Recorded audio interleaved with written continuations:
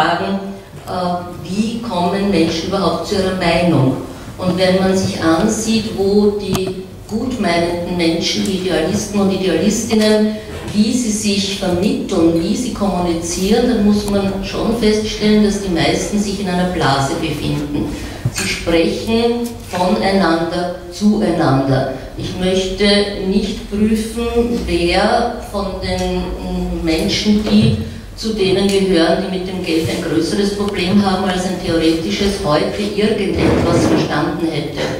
Und wer von den Medien aus irgendwie sich dafür interessiert, also wer von den Menschen sich über die Medien dafür interessiert, was ihm oder ihr nützen würde. Es ist so komplex geworden und uns Intellektuellen gelingt es offensichtlich nicht, die Menschen so zu erreichen, dass man ihnen vermitteln kann, was der nächste Ausweg ist. Und es ist heute schon gesagt worden, sie wählen auch nicht, weil sie verraten worden sind.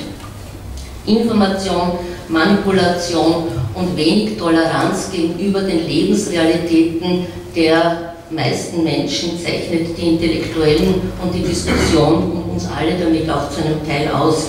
Das ist der eine Aspekt. Der zweite Aspekt, der mir dazu durch den Kopf gegangen ist heute, ist die Hoffnung auf eine kooperative Wirtschaftsform, die sich in vielen einzelnen Aspekten abzuzeichnen scheint. Ich teile diese Hoffnung nicht. Ich finde die Experimente wichtig. Ich denke aber schon, dass der reale Sozialismus daran gescheitert ist, dass er auch zu wenig Konkurrenz zugelassen hat. Ich glaube vielmehr, die Machtfrage müsste dort gestellt werden, wie man diese Bestrebungen begrenzt. Also sprich, die Politik braucht wieder das Primat, um Rahmenbedingungen festzustellen. Und es ist, wie halt auch schon gesagt wurde, wäre es relativ einfach zu beschließen, wann gehandelt werden darf, wie oft gehandelt werden darf, wie viel Erbschaftssteuer bezahlt werden muss. Diese Dinge muss die Politik wieder in die Hand bekommen. Und der letzte Punkt zum letzten Referat ist die Frage der Geschlechterverhältnisse. Da ähm, denke ich dann am Ende der feministischen Betrachtungen oft, warum brauchen wir dann noch den Feminismus, denn es kehrt sich die Machtfrage gerade heute komplett um. Es kann der arme Praktikant gewesen sein und die Frau Lagarde gewesen sein, die dieses Machtverhältnis darstellt. Es ist der Gender Pay Gap nicht so darzustellen, wie er sich oft darstellt. Und dann muss man auch noch sagen, vielleicht als letzten Punkt, dass die Frage der Gier und des Interesses nach dem Geld der Männer sehr stark auch mit dem Heiratsverhalten der Frauen zu tun hat.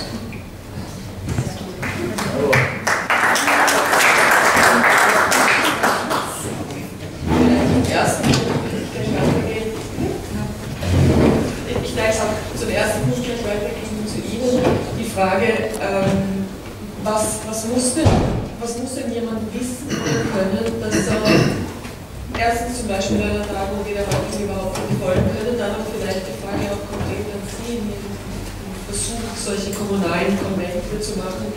Wer sind denn die Teilnehmer dieser Konvente und wie werden die überhaupt in die Lage versetzt, mitentscheiden und mitdiskutieren zu können? Und wo nehmen Sie die Zeit her? Vielleicht darf ich das noch auch fragen. Die Teilnehmerinnen. Arbeiten dann weniger. Ähm, es gab einmal, einmal gab es die Rückfrage, wer soll dann noch arbeiten, wenn wir den ganzen Tag in Konventen sitzen? Ich gehe gleich ganz ernsthaft drauf ein. Ich möchte aber doch noch ähm, hier zum, zur Analyse in den USA, ähm, habe ich eine sehr, sehr differente Sichtweise. Ähm, meine Antwort ist, dass die unterschiedlichen Systeme, sei es das Gesundheitssystem, das Geldsystem, das Wirtschaftssystem oder sonst ein System, die stehen gar nicht zur Wahl, meiner Meinung nach, sondern es stehen nur Parteien zur Wahl, äh, wo man All-in-One äh, wählen kann. Und so wird jede rationale Entscheidung für ein Gesundheitssystem, für eine Geldreform, für eine Friedenspolitik, für eine Umweltpolitik wird zu einer emotionalen All-in-One-Entscheidung. Und da entscheidet man sich im Zweifelsfall, bevor sich alles ändert, entscheide ich mich halt dann doch für die Konservativen und das war der Grund, warum die Angela Merkel gewählt wurde. Nicht, weil sie in allen Politikfeldern besser ist als wer andere, sondern weil sie ihnen, weil man nur ein Kreuz hat, das ist das Absurde, dann macht man eine emotionale Entscheidung und dann steht halt die große Mutti für das Urmutterprinzip und das, ähm, das war's dann. Wenn man die Inhalte abfragt, das wurde ja gemacht mit dem Wahlomat, die Inhalte, äh, absoluter Sieger der Wahlen war Ralph Nader, ja, also wurden nur die Inhalte und nicht dazu gesagt, von wem die sind. Ralph Nader hat mit absolut gewonnen. In Deutschland das gleiche. In Deutschland haben die Linken gewonnen. wo nicht dazu gesagt wurde, dass diese Forderungen von der Linken sind. Aber natürlich äh, das emotionale, atmosphärische, wenn man sagt, wollen wir jetzt die Linken generieren, dann, ähm, dann bricht äh, der große Schreck aus. Und in Österreich haben wir, glaube ich, sehr, eine sehr geringe, eine sehr dünne empirische Evidenz. Wir haben zwei Volksabstimmungen in der Zweiten Republik und ein einziges Mal war die Bevölkerung anderer Meinung als ihre Vertretung. Und äh, da hat es natürlich auch geheißen, auf gar keinen Fall darf die gemeine Bevölkerung entscheiden, ob wir das Kernkraftwerk in Betrieb nehmen das müssen die Atomphysiker entscheiden. Und äh, die Regierung war natürlich dafür und die Bevölkerung war dagegen. Das ist eine sehr dünne Beweislage, aber immerhin äh, ist das ein Hinweis, dass die Bevölkerung weiß. Mein Lieblingsbeispiel ist Italien. Ja. Der Berlusconi kann sich äh, Kraft seiner Milliarden, nicht Kraft seiner Weisheit ähm, und der Fernsehsender, die damit äh, kauft und besitzt, in die Regierung wählen mit einer relativen Mehrheit. Glücklicherweise nicht mit einer absoluten. Aber die konkrete Politik, die er dann macht, da gibt es in Italien immerhin eins der acht souveränen Grundrechte, nämlich das der, des abrogativen Referendums. Und das abrogative Referendum ähm, gewährt dem italienischen Souverän wenigstens eine Gesetzesinitiative des Parlaments zu stoppen. Und konkret hatte Berlusconi an der Regierung vor, ähm, die Trinkwasserversorgung zu privatisieren, die Atomkraft auch in Italien einzuführen und sich selbst lebenslang natürlich zu immunisieren. Und Italienerinnen haben eine Million Unterschriften gesammelt, damit überhaupt dieses Referendum zustande kam. Und in allen drei äh, Gesetzesinitiativen, die das Parlament schon ausgearbeitet hatte, stimmten 90 Prozent der Menschen gegen äh, die Inhalte von Berlusconi. Hier standen die Systeme unter Anführungsstrichen zur Wahl. Und das gibt mir, ich werde jetzt viele weitere Beispiele, ich darf jetzt so ringen, das gibt mir das Vertrauen, dass äh, die Bevölkerung zwar auch nicht ähm, äh, zwar, zwar auch nicht absolut weise ist, aber einfach ein bisschen weniger unweise als der Vertretung, in den grundsätzlichen Fragen. Und in den, ähm, in den kommunalen Geldkonventen sind derzeit, äh, ist vorgesehen, dass wir verschiedene Prototypen ausprobieren und schauen, welcher Prototyp am besten funktioniert, nach dem Prinzip des Trial and Error. Und äh, konkret sind derzeit einmal drei Prototypen auf dem Tisch. Erster Prototyp ist, ähm, eine Zufallsauswahl, natürlich aus allen Schichten der Bevölkerung, die aber überschaubar und äh, manövrierbar ist, ähm, macht die Vorschläge, abstimmend und selbstverständlich alle. Das hat in den USA bei den sogenannten äh, Bürgerinnenparlamenten sehr gut funktioniert. Äh, das Prinzip, wer kommt, wer Zeit hat, ist dabei und wer nicht, nicht, ist wahrscheinlich mit großem Abstand das Schlechteste, das von vornherein ausgeschieden ist. Auch noch eine Möglichkeit wäre, dass einfach alle größeren Sektoren der Bevölkerung ihre ein bis zwei Vertretungspersonen entsenden, sodass das in Summe ähm, zwischen 20 und 50 Personen sind und äh, ist vielleicht auch nicht das Beste, aber irgend, irgendeine Form werden wir schon finden. Und die Befürchtung, dass wir dann äh, dein Leben lang, also für mich ist die Frage, und wer soll dann arbeiten, wenn wir, wenn wir ein bisschen mehr Demokratie haben als heute, ist für mich gleichgültig wie die Frage, und wer soll dann arbeiten, wenn alle vor dem Fernseher sitzen und wenn alle im Flugzeug sitzen. Das ist absurd, die Frage, warum? Weil ähm, was vorgeschlagen ist, dass wir einmal in unserem Leben an so einem Konventsprotest teilnehmen, der dauert wie gesagt ein Jahr und der besteht aus sechs Treffen. Äh, zweitens, dass wir vielleicht zweimal pro Jahr an einer Volksabstimmung teilnehmen, zu maximal drei Fragestellungen. Und drittens, dass wir einmal in unserem Leben im Aufsichtsrat einer, einer regionalen Genossenschaftsbank oder der städtischen äh, äh, Wasserversorgung oder in, äh, in, in einem Aufsichtsgremium der Demokratischen Zentralbank sitzen, für vier Jahre begrenzt. Ich denke, äh, das wäre zu Nummer. muss ich nur kurz nachfragen, wie ist das? Jeder von uns, jeder in der Volksgruppe, jeder Vertreter einer bestimmten Interessensgruppe, also ein bisschen auch um die Frage, gegen wer überhaupt in der Lage sein kann und soll oder versetzt werden soll an solchen Entscheidungsprozessen. Also fangen wir gleich beim dritten an, die, die gewählt werden. Und mein Lieblingsbeispiel ist ein, äh, ist ein öffentliches Unternehmen aus den USA, aus Kalifornien. Der Energieversorger wurde 1946, im gleichen Jahr, als die bayerische Fassung der Volksabstimmung angenommen wurde, wurde verstaatlicht in Kalifornien. Warum? Weil General Electric so katastrophal gewirtschaftet hatte wie in Wien zu Zeiten von Karl Lueger die Straßenbahn und Energieversorger.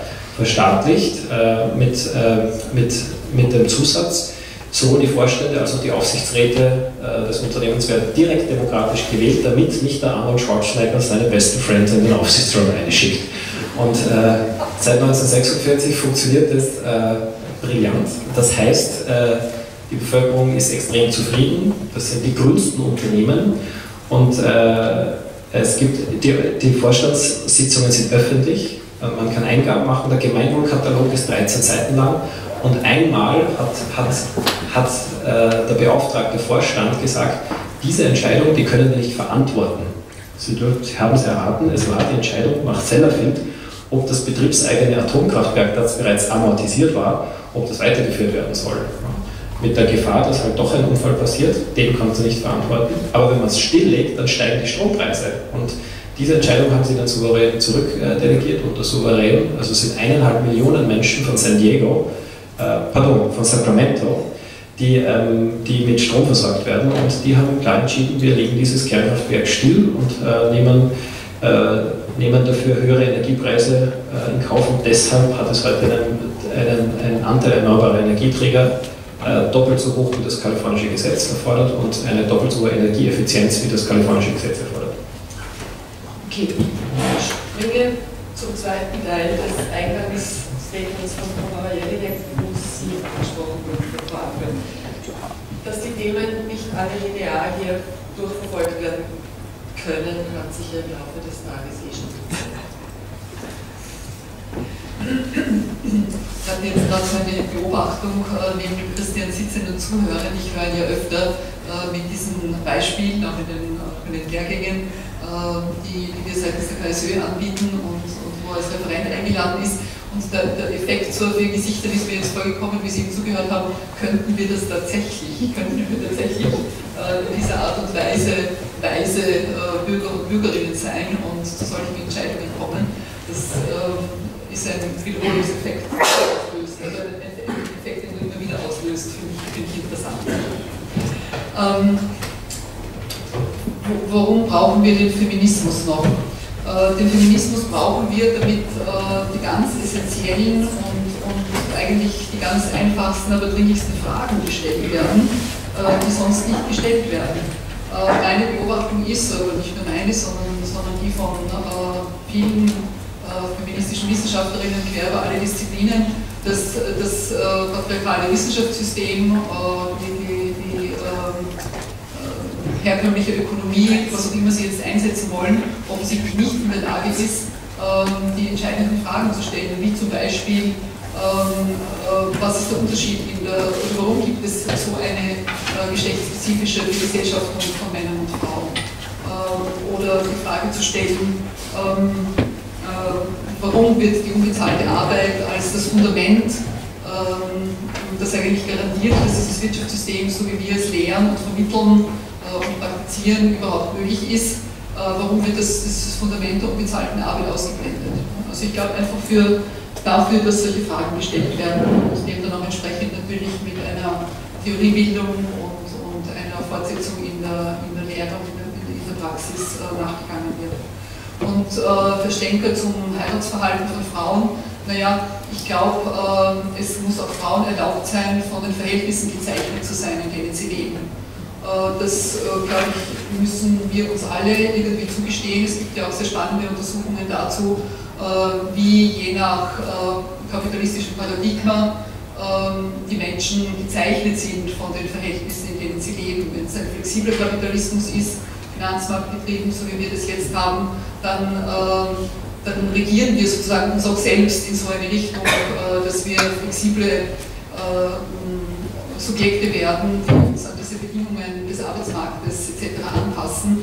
Und äh, so ist es, glaube ich, über Generationen natürlich auch, dass Frauen und Männer und gerade auch wenn sie äh, aufeinander bezogen sind, äh, im Punkt jetzt von, von Heiratsverhalten und Familiengründungen natürlich von den Verhältnissen gezeichnet sind und Frauen durchaus, und das zeigt sozusagen auch ihre Fähigkeit zu ökonomischer, herkömmlicher ökonomischer Rationalität natürlich sehr wohl in der Lage sind, auch zu ihrem Vorteil zu entscheiden, sofern sie überhaupt, äh, äh, sind sie erst seit kurzem in der Lage sind, auch wirklich frei wählen zu können.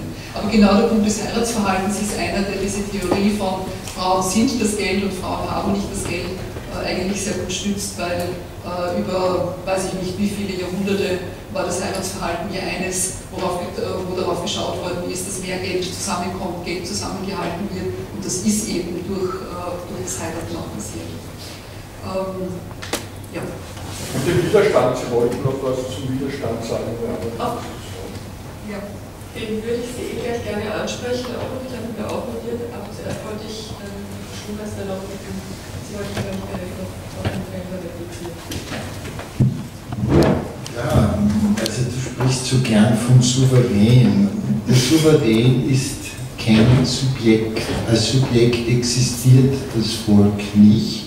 Subjekte sind aber Intellektuelle, zum Beispiel Jean-Jacques Rousseau oder alle möglichen, die im Namen des Volkes sozusagen Theorien entwickeln, äh, wie im Grundsätzlichen die Gesellschaft zu verbessern sind.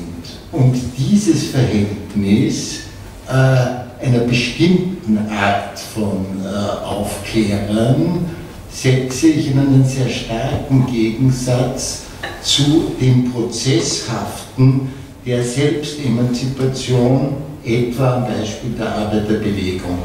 Die Arbeiterbewegung des 19. Jahrhunderts war eben nicht eine, wie soll ich sagen, äh, ein Ereignis, wo irgendein Gescheiter, Karl Marx, wer auch immer, gesagt hat, so, ich habe für euch jetzt das Konzept ausgedacht und jetzt äh, quasi machen wir einen Konvent oder und äh, ich stelle euch dann ein paar Fragen und äh, dann werden wir die Welt verbessern. Sondern über Jahrzehnte wurde in einem mühsamen Prozess eben der Selbstemanzipation der Arbeiterbildungsvereine, der Krankenkassen, den Betrieben etc. sozusagen erreicht, dass äh, quasi die Opfer sich aus dieser Rolle versucht haben, aktiv heraus zu emanzipieren. Und das ist schon ein anderer Prozess. Warum sage ich? Weil wir jetzt schon 50 Jahre Gegenaufklärung hinter uns haben.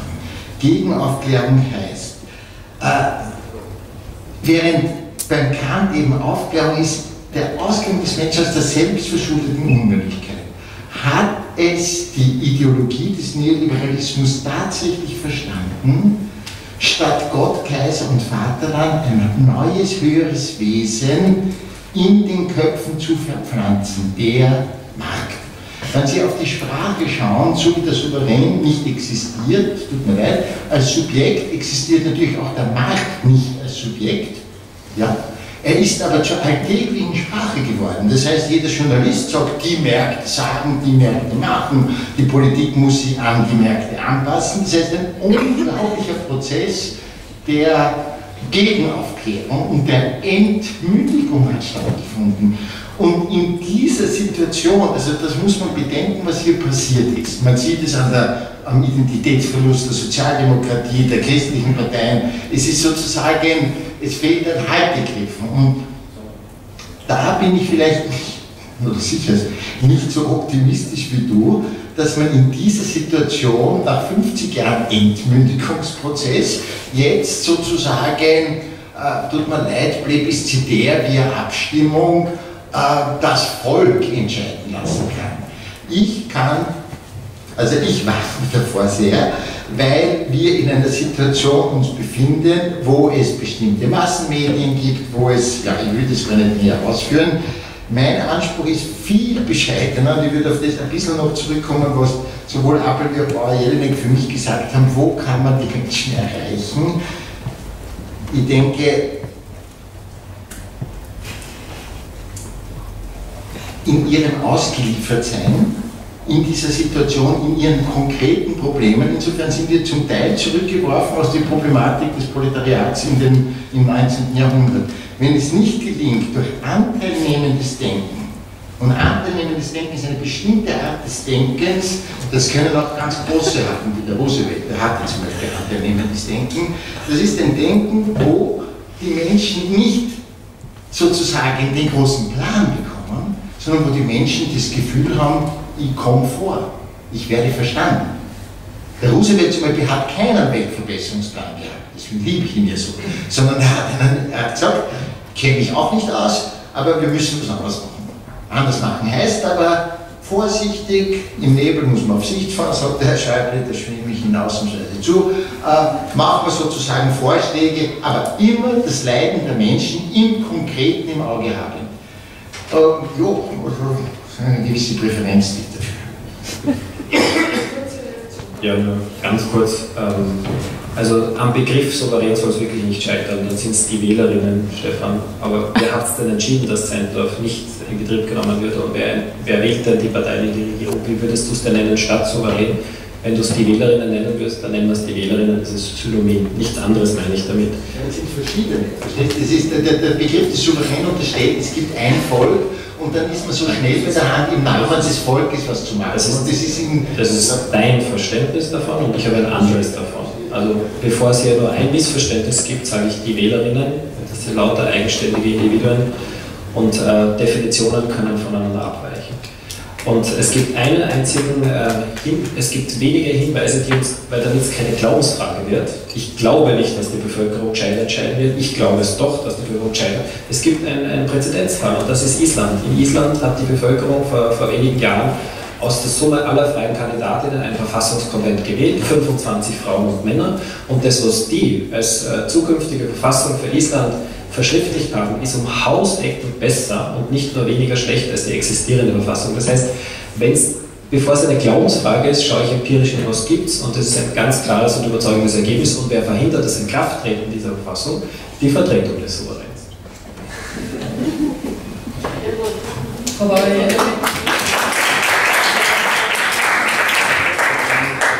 Anteilnehmendes Denken als eine Möglichkeit, den Mächtigen den Zugang sozusagen zu denen zu geben, die Macht nicht haben. Wie, wie stehen Sie dazu? Der Begriff liegt mir jetzt als Psychotherapeutin natürlich schon einmal sehr nahe und das Bild ist auch eines, das ich oft in meinen Vorträgen verwende. Wir befinden uns dort wie am Beginn der Arbeiterbewegung und da mussten die Menschen nach 14 Stunden Arbeit in der Fabrik, in, einem, in einer Manufaktur, in einem Bergwerk sich nachher treffen, um miteinander zu besprechen, was sie denn besser machen wollen. Dann mussten sie darum kämpfen und der Einsatz ihres Lebens. Und wir glauben, mit ein bisschen Plaudern im Kaffeehaus werden wir ein so mächtiges System wie den Neoliberalismus bewältigen. Also wenn wir etwas tun wollen, dann werden wir mit den Menschen mehr reden müssen, gerade die Intellektuellen, glaube ich, und zwar anteilnehmend, nicht äh, bevormundend oder vorgebend. Und dann glaube ich schon, wenn wir diese Manipulation durch die Massenmedien und die 50 Jahre Gehirnwäsche langsam durchbrechen, dass wir dann zu einem vernünftigen, besseren Abstimmungsverhalten kommen können. Aber ich glaube, das ist ein System, das sehr stark ineinander verschränkt wird, weil sonst werden die Lobbyisten sich nicht einfach in Brüssel anstellen, sondern in Hintertupfing bei denen, die gewählt wurden, um den nächsten Konvent zu gestalten und die Fragen dort einspeisen. Eine, eine Frage von mir noch an Margret Appel, die übrig geblieben ist aus ihrem Vortrag, wenn es um Widerstand als Ausblick geht. Und Sie darüber aber nicht sprechen wollen, weil Sie schlechte Erfahrungen damit haben, wollen Sie es uns vielleicht einfach uns nochmal ausprobieren, wie gut die Erfahrungen damit sind. Ja, also ich erzähle dann gleich, warum meine letzte schlechte Erfahrung damit oder ja, relativ schlechte Erfahrung damit, möchte aber sagen, dass Widerstand an sich natürlich etwas ist, was auch unter dieser feministischen Perspektive, die ich hier heute ja vertrete, äh, schon auch eine Erfolgsgeschichte ist. Äh, weltweit äh, waren die Frauen in der Lage, ein Konzept des guten Lebens über, über lange Zeit miteinander zu entwickeln und ähm, in einer Mischung aus Widerstand und äh, Einbringen in verschiedene Institutionen, äh, da vieles auch doch zum Thema machen zu können und damit äh, verdeutlichen zu können, auf wessen Kosten die, die Weltwirtschaftsordnung geht und die Ausgesetztheit, wie, wie eben die Ausgesetztheit der Menschen ausschaut, wie Stefan Schulmeister das jetzt gerade angesprochen hat. Ähm, also zum Beispiel die das Einbringen der ganzen Themen des guten Lebens in die Weltfrauenkonferenzen, äh, die Tatsache, dass es so etwas wie äh, Genderbudgets, äh, Konzepte dazu in, in vielen Ländern mittlerweile gibt, das sind alles kleine Anfänge, die auch mit erfolgreichem Widerstand zu tun haben, das möchte ich jetzt vorausschicken. In Österreich oder in Wien gab es vor ein paar Wochen eine Aktion von einer neuen Initiative, die sogenannten Femme Fiscal, ähm, kurz vor der Verabschiedung der ähm, Steuerreform. Und ähm, die Initiative ging von äh, Feminista Tagfrauen aus, es waren äh, von der Plattform 20.000 Frauen, Frauen dabei, vom Frauenring, um das jetzt auch deutlich zu machen, dass es ja viel zivilgesellschaftliche Bewegung äh, gibt. Und äh, es war angemeldet vor dem Bundeskanzleramt äh, an dem Tag, wo also dieser, wo der Ministerrat war, äh, um da sozusagen nochmal weiterzukommen. Saukalt, wir standen auf der Schattenseite, symbolischerweise des, des ganzen Platzes und haben uns da also abgefroren. Ähm, einige waren äh, von den Organisatorinnen gut vorbereitet als Superwoman angezogen, um so ein bisschen auch die mediale Aufmerksamkeit auf uns zu ziehen und hatten die entsprechenden transparente äh, also die, die äh, Steuerreform muss sich auch für die Frauen lohnen, etc. etc. Ähm, ja, die erste Limousine, die durchgefahren ist, da gab es irgendwie keine Reaktion. Zweite Limousine war der Vizekanzler drinnen, der dann auch äh, locker im Sakko äh, daher spaziert ist und ähm, die Hand geschüttelt hat und von seinem Trost, der mit ihm gekommen ist, dazu genötigt worden ist, sich für ein Foto auf unsere Seite zu stellen. Äh, und stand dann unter diesen ganzen Transparenten, die völlig gegen seine Politik äh, gesprochen haben. Und da habe ich mir dann gedacht, irgendwas rennt da jetzt völlig falsch.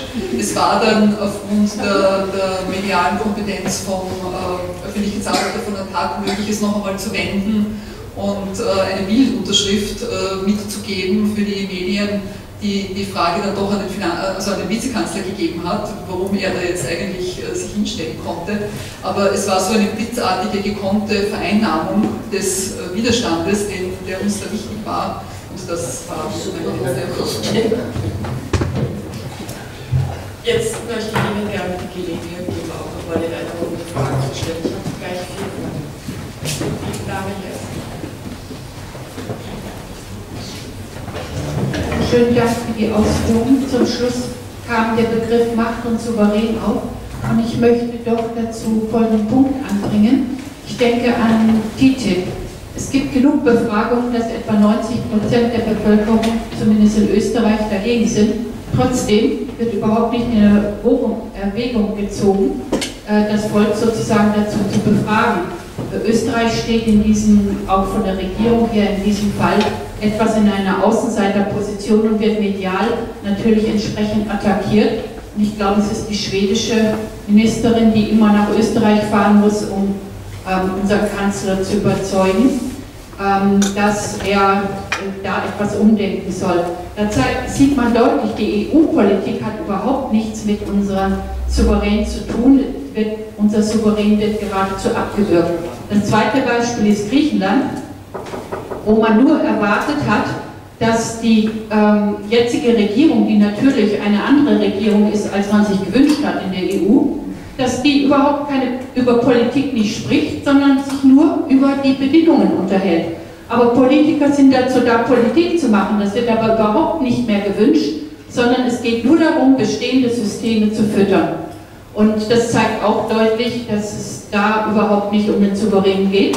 Und das Dritte, was ich befürchte, was kommen könnte, und ich glaube, dazu werden Geheimgespräche geführt demnächst, ist einfach die Sache der Wasserprivatisierung in der Welt. Da müssen wir sehr aufpassen, denn demnächst müssen wir auch noch fürs Atmen bezahlen. Es geht eigentlich nicht mehr um die Geldvermehrung, es geht wirklich nur noch darum, uns sozusagen die, die Macht zu nehmen, überhaupt noch irgendetwas tun zu können. Und das ist sehr wichtig, dass wir da wachsam sind.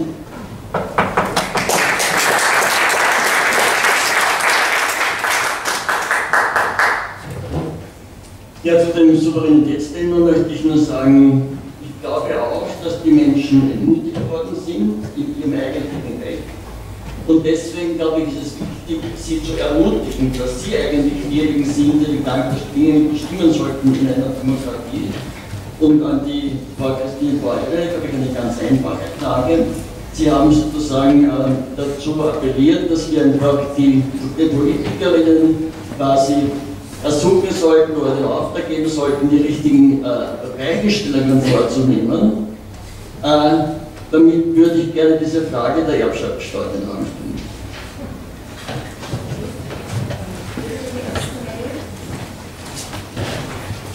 Name Schreiber. Ich bin Mietervertreter, einer von zwei Mietervertretern in der Versandgartenkasse. Und wir haben natürlich Mieterversammlungen. Und ich bin also da eigentlich für Herrn Schulmeister. es ist nicht möglich, 135 Leute sozusagen nicht einmal in einen Saal zu bringen. Aber wenn sie also für einen oder den anderen etwas äh, getan haben, erfolgreich getan haben, dann können sie damit punkten und es kommen immer mehr Leute. Also ich meine, der, der Weg der kleinen Schritte und der kleinen Erfolge wird äh, das zielführende sein.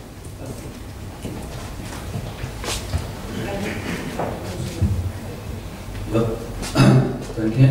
Ihre Frage noch an den Christian Felber, und zwar die Gemeinwohlbank. Kurz, äh, welche, wie kann ich zur Gemeinwohlbank gehen und mit dem Konto und so weiter meine Freunde natürlich auch übernehmen? Und diesen Freunde wieder, das ist eine große Frage. Danke.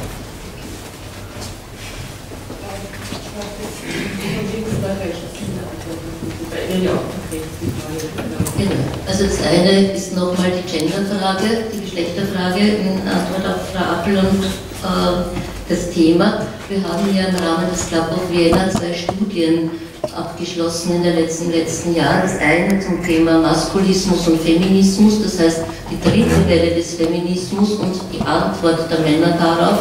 Da sind sehr interessante Ergebnisse rausgekommen. Ich kann Ihnen nur empfehlen, sie kostenlos von der Seite des Club of Vienna downzuladen und dasselbe zum, zur sogenannten Geschlechterlohnlücke. Diese Studie hat ein junger Ökonom gemacht. Wir haben gar nichts Neues befragt oder erforscht, sondern nur die Zahlen, die es schon gibt, auf ihre Interpretation hin überprüft. Und auch hier kommen sehr interessante Ergebnisse heraus, die den Schluss zulassen, dass die Ungleichheit und die Ungerechtigkeit schon lange keine Frage der Geschlechter mehr ist, sondern dass sich die ganz, an, ganz anderen Grenzen der Gesellschaft entlang zieht, die mit Männern und Frauen viel weniger zu tun hat, als uns die allgemeine Linie in dieser Richtung glauben macht. Und ich halte das, das ist das Ergebnis meines anderen Buches, für eine glatte Verschleierung und für ein Aufeinanderhetzen der Geschlechter, anstatt dass wir uns an der sozialen Frage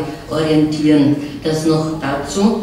Und zur Frage der Macht und der Erbschaftssteuer, wie wir den Politikern etwas sagen können oder sollen, wenn, wie Christian auch schon gesagt hat, wir stimmen über das Ganze ab, das ist das Problem, dass wir niemand anderen wählen können, weil es keine Parteien gibt, die dezidierterweise in Österreich schon überhaupt eine Systemveränderung überhaupt auf dem Programm haben.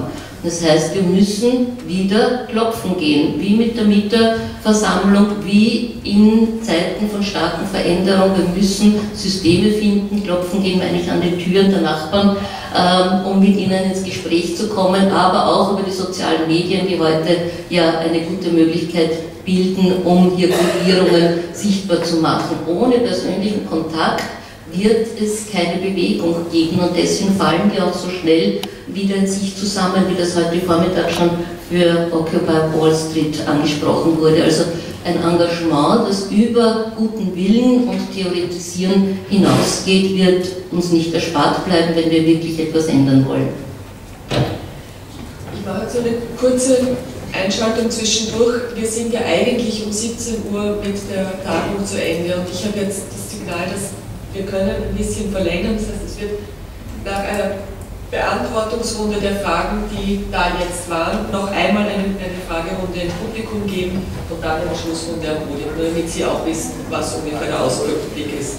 18 Uhr wird sicher nicht, aber wir haben noch eine Viertelstunde. Ja, vielleicht nur einen Gedanken, weil es tatsächlich so ist, dass aufgrund dieser 40-jährigen Gegenaufklärung, das ist ja der, aufgrund dessen gibt es keine Parteien mehr, die ein Angebot machen für Menschen, die Sozialstaatlichkeit, Umwelt konsequent verteidigen wollen, die sowas wie die Grundfesten des europäischen Modells bewahren wollen weil auch die sozialdemokratischen Parteien schon vor 25 Jahren Schritt für Schritt immer mehr von den konkreten Handlungsanweisungen äh, der neoliberalen Navigationskarte übernommen haben.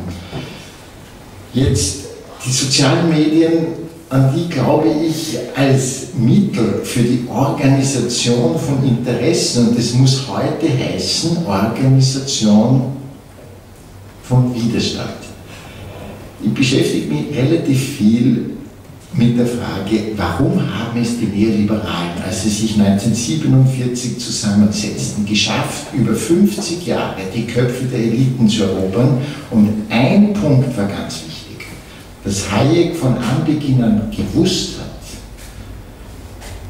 dass wirtschaftswissenschaftliche Theorien bilden und propagieren Teil eines Krieges ist. Er hat der Hayek ist ein grandioser Feldherr gewesen. Und wie er das gemacht hat, auf das gehe ich im Detail nicht ein. Aber der Grundgedanke, dass man leider in einem Battle of Ideas ist und dass zum Beispiel die Journalisten, wie der Hayek immer abfällig gesagt hatte, Second-Hand Dealers of Ideas sind. Das heißt, wir sind die großen Denker, Hayek und Co., wir gründen Thinktanks, die Thinktanks machen dann den Nachschub mit Argumenten an Journalisten, Schulen und so weiter. So. Nach, dieser, nach diesem wunderbar vorgetragenen Angriff, unter Anführungszeichen, sind wir jetzt in einer Defensivposition. Und wenn ich das Kriegsbild sozusagen übernehme, sage ich, jetzt gilt es, Verteidigungslinien aufzubauen. Und die können eben nicht mehr angesiedelt werden bei Parteien. Das macht die Sache so wahnsinnig schwierig. Aber es gibt in allen großen Parteien, ÖVP, CSU, CDU, SPD, es gibt innerhalb dieser Parteien absolut noch Anhänger des Sozialstaates. Es gibt viele NGOs, die das tun. Das heißt, es müssen sozusagen neue, ähm, wie soll ich sagen, äh, Allianzen gebildet werden und dafür auch das institutionelle Substrat geschaffen werden, wenn man auch nicht so viel Geld hat. Aber wenn es nur auch einen Think Tank gäbe, der quer über diese traditionellen Lager auf europäischer Ebene äh, Argumente, äh, wie sagen, Gegenkonzepte vermitteln würde, etc., dann würde das was helfen. Äh, was wir sind in der Verteidigungsposition? Wer ist denn das? Wir jetzt? Also, wenn, wenn dein Wir ist mein Souverän, okay? Ja, wir, wir sind, nein, nein, nein, nein, ganz, ganz falsch. Ganz falsch. Souverän ist ist die Vorstellung, es gibt ein Volk. Wir sind viele Menschen. Ja. ja und mir habe ich jetzt natürlich gemeint, die Menschen, denen Sozialstaatlichkeit, Umwelt ein Anliegen ist, von denen ich behaupte, dass es sehr viele sind. Aber Sie müssen Lieber Stefan, in, in meiner Vorstellung gibt es nicht das eine Volk. Also ich glaube, du, ähm, du, du siehst mich hier bei Rousseau, weil ich ihn auch mal zitiert habe, aber von Rousseau wird auch gesagt, dass er ein identitärer äh, Demokratietheoretiker war, das bin ich eben nicht. Und äh, da distanziere ich mich auch von Rousseau. Weil ich glaube, dass das die Wurzel dieser, dieser Scheindiffer, die ja gar nicht erkennbar ist für das Publikum. Aber was ich in diesem Zusammenhang schon auch nochmal zurückweisen möchte, es ist nicht zuerst hier eine Weltformel und dann sollen alle anderen das umsetzen, sondern das sind 20 Jahre politisches Engagement an der basalsten Basis, von der kleinsten Gemeinde über die kleinste Strömung.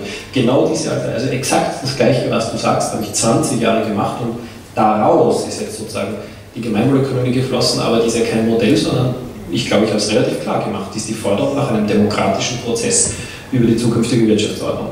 Das Gleiche gilt für TTIP. Meine Vorstellung eines sauber demokratischen Prozesses wäre, dass nicht der Europäische Rat, der Kommission, äh, die Kommission mit Geheimverhandlungen beauftragt und Parlament und Rat entscheiden sondern dass der Souverän das Rahmenmandat gibt über alle völkerrechtlichen Verträge, die direkte Vertretung gibt das Mandat, also das Parlament gibt das Mandat. Ähm, wenn, wenn das Mandat geprüft vom Verfassungsgerichtshof ähm, stattgegeben wird, wird transparent und partizipativ verhandelt nach Verfassungsspielregeln und das Endergebnis wird von derjenigen Instanz abgestimmt, in der Namen überhaupt verhandelt wird. Das ist mein Verständnis von einem sauber demokratischen Prozess. Das hat mit Rousseau, das hat mit, ähm, weiß nicht, hat nichts zu tun. Ähm, ich glaube, der Bann wird gebrochen sein, wenn das erste gallische Dorf existiert. Wenn in der ersten Gemeinde tatsächlich so ein dezentraler Wirtschaftskonvent ähm, Genf-Konvent oder anderer Konvent stattgefunden hat und dann, dann kann man sehen, ähm, es ist eine Katastrophe und es ist schiefgegangen oder ha, äh, die Menschen sind äh, nicht perfekt, aber sie sind vielleicht sogar etwas weniger imperfekt als ihre Vertretungen. Auch hier gibt es zwei erfreuliche Beispiele. Ich kann schlussendlich nicht anderes äh, ins Treffen führen als Beispiele. Ähm, in, in Mals, äh, Mals ist eine Gemeinwohlgemeinde, eine der ersten vier italienischen Gemeinwohlgemeinden in Südtirol. Und da gab es vor einem Jahr eine Volksabstimmung, kein Plebiszit, sondern ein Referendum von unten, äh, ob es ein Totalverbot von Pestiziden im Gemeindegebiet von Mals ja, geben soll. Und es gab unendlich heftige Konflikte innerhalb, weil natürlich äh, die, die einflussreichsten Personen im Dorf waren die größten Bauern. Könnt ihr euch vorstellen, können Sie sich vorstellen. Ähm, und es hat dann eine ganz klare Mehrheit erstens teilgenommen an der Abstimmung und zweitens sich für ein Totalverbot von Pestiziden ausgesprochen. Ja, das ist eine weitere Erfahrung. In einer der ersten spanischen Gemeinwohlgemeinden, da gibt es ungefähr zehn bisher, hat, äh, hat der Gemeinderat gesagt, wir entscheiden das nicht, sondern wir, wir fragen zuerst einmal in einem mühseligen Prozess die Bevölkerung, ob sie das wollen. Äh, dann wurde nach zwei Jahren wurde erst abgestimmt, ob sie sich auf den Weg zur Gemeinwohlgemeinde machen wollen. Nach zwei Jahren haben sich 90 Prozent der Bevölkerung an der Abstimmung beteiligt und aber leider nur 89,7 Prozent dann dafür, für den Weg zur Gemeinwohlgemeinde ausgesprochen. Und ähm, die Bank steht derzeit so, dass wir nach fünf Jahren mühseliger Bottom-up-Prozess, ja, also wenn, wenn, wenn der reiche Onkel aus Amerika äh, die Startup-Idee aus dem aus dem Hub äh, finanziert hätte, dann wäre es wahrscheinlich in sechs Monaten gegangen. Aber dadurch, dass das genau der Prozess ist, den du beschrieben hast, Stefan, und den ich lebe, darum finde ich das ein bisschen schade, dass ich in meinem Verständnis genau das lebe, was du sagst, aber dann, dann scheitert es am Begriff souverän. Äh, es war ein offener Aufruf in die österreichische Zivilgesellschaft, sich zu beteiligen. Es haben sofort hunderte Menschen mitgemacht. Und nach fünf Jahren haben wir die Holding-Genossenschaft gegründet. Am 2. Mai wurde der Kapitalmarktprospekt in der Wiener Zeitung veröffentlicht. Wir haben mit der Kapitalsammlung begonnen. Im Laufe dieses Jahres wollen wir die 6 Millionen erreichen, die nötig sind, damit wir den offiziellen Antrag auf Vollbankenlizenz bei der Finanzmarktaufsicht stellen können. Nach weiteren vier bis maximal sechs Monaten rechnen wir mit der Erteilung der Lizenz. Das wird dann im Frühling 2016 sein und mit ein bisschen Glück äh, werden wir dann im Sommer 2016 ähm, die Bank ihre Pferdchen zu öffnen.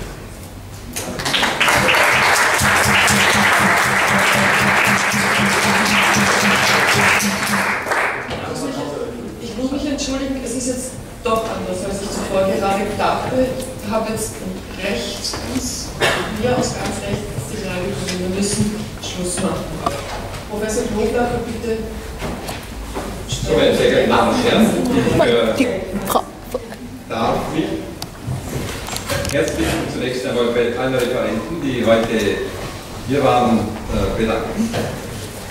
Bei der Diskussionsleitung. Sie wollten noch was sagen? Wenn ich einen Satz schon, ich wollte die, die Debatte um den Souverän äh, noch damit garnieren, äh, dass mir aus der feministischen Perspektive es wichtig wäre, deutlich zu machen, dass wir als äh, abhängige und bedürftige Wesen dennoch äh, ein Souverän sein können oder sozusagen souverän politisch handeln können. Also wenn man das noch zusammennehmen würde, das würde mir gut gefallen.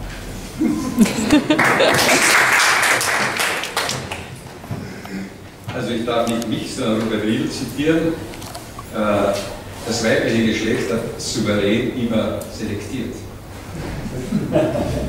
Allerdings sind manche Rassen dadurch ausgestattet. Können Sie bei Robert Riedl nachlesen. Äh, ich äh, möchte mich aber auch beim Publikum bedanken. Erstens einmal für seine hochqualifizierte politische Position die wir gewohnt sind im Vienna. Der Vienna hat ja monatliche Vorträge im Karl Kraus Saal. Äh, beim äh, Café Grünstein, Grünstein finden die äh, Einladungen auf unserer Webseite und ich darf Sie noch auf zwei Referate hinweisen und die Daten dafür bekannt geben. Das ist der 27.05. Frau Magister Schrott zur Frage von Schule und Migration. Ein wesentliches Problem, das bei uns in Wien schon etwas stärker zutage tritt, als es allgemein in Europa in Zukunft sein wird. Eine wichtige Frage der Gesellschaft, die sie zu beantworten haben wird und am 8 äh, Universität Professor Wähler zu, zum, mit dem Thema Zweite Republik äh, Volksgeschichte mit Aus- und Unterlassung. Er wollte an sich einen anderen Titel wählen, hat er mir gesagt, aber der ist harmloser. Äh, Sie sind herzlich eingeladen, hier mitzumachen und dann darf ich die Jüngeren unter Ihnen, die Interesse an den wirklich fundamentalen Erkenntnissen zur Evolutionstheorie und zur evolutionären Erkenntnistheorie haben, aufmerksam machen. Der Klaro Wiener veranstaltet heuer zum ersten Mal eine Sommerakademie, eine dreitägige Sommerakademie zu diesem Thema, zu der maximal etwa 30 Personen zugelassen werden. Äh, und ich darf Sie herzlich einladen, hier beim Klaro Wiener sich schon anzumelden dafür, wer mitmacht. Äh, es sind insgesamt drei Tage, ein Freitag, ein Samstag Sonntag. Welches äh, Wochenende wir im Juli dazu wählen, muss noch entschieden werden, aber für die Jungen ist es sicher interessant, wenn sie dissertieren oder promovieren oder sonst irgendetwas wissenschaftlich entwickeln wollen und sich hier einige Informationen über, eine, über die, Fächer, die fächerübergreifende äh, systemische Basis und ein systemisches Denken, das ja bei unseren Referenten heute und in der Diskussion gesehen haben, holen können. Das wird heuer das erste Mal, wie gesagt, angeboten und äh, wir werden sehen, wie sich Sache entwickelt. Ich möchte mich beim Publikum bedanken, das sich den ganzen Tag hier sehr wachsam gezeigt hat. Äh, und auch die Referenten äh, mit ihren Fragen, glaube ich, bis an Grenzen dessen, was die wissen, äh, ausgelotet hat. Ich würde mir aber auch gleichzeitig die Referenten dafür entschuldigen, weil wir auch zwischendurch wieder erfahren, dass nicht genügend Diskussionszeit Das ist leider immer der Fall. Das spricht aber für das Interesse und die interessanten Themen, die hier aufgeworfen worden sind. Äh, Sie auch, äh, können auch mit den Pausen, wie immer, mit den Referenten äh, diskutieren. Hätte man nützen müssen, weiß man. Das nächste Mal kann man das noch besser nützen. Und ich darf Ihnen noch einen schönen Abend wünschen. Ich hoffe, dass Sie diesen Raum mit mehr Verlassen im Kopf als hereingekommen. Und dann hat äh, die Veranstaltung jetzt Zweck erfüllt. Vielen Dank auch der Diskussionsleitung, die sehr ruhig und souverän stattgefunden hat.